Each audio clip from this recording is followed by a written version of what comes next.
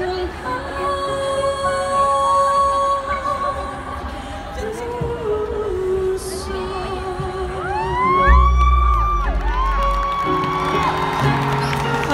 salamat po. Thank you very much. May forever nga dahil sa inyo mga kababayan dito sa Riyadh. Salamat po. Let me bring back on stage Mr. Onyel Kausan! Palakpakan natin si Lara. Ang saya ang galing-galing talaga ni Lara. Palakpakan natin siya ulit. Maraming salamat. Lara, hello, how are Hello. you? Ay, lang niya yung vlog niya.